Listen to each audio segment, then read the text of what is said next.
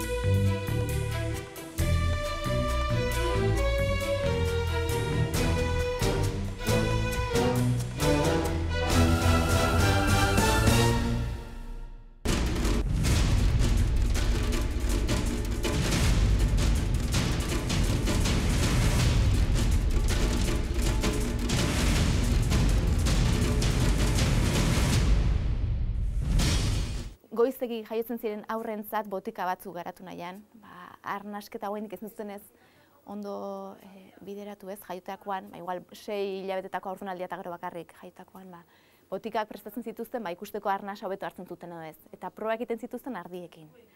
Eta nik ikusi behar izan nuen, ba, egiten zuten e, ardi arnaldu, eta igual ez dakizen bate astera, ba, zesare bat egiten zioten, eta arkumea atera, ez da nik antxe, nik zesare guzti ikusi nuen, nola ateratzen zioten arkumea eta bukeran guatzen naiz, oraindik nola hartu esteak eta berriz ere ardia sartu zizkioten nola xe.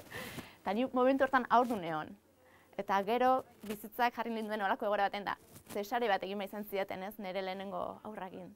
Eta oraindik guatzen dut, zesarea momentu hortan hain, oso momentu delikatua da, emozionalki ez da. Gogoratzen erreportajearekin, da nola esan nion medikuai, Mesedez, artizkia zu esteak txukun.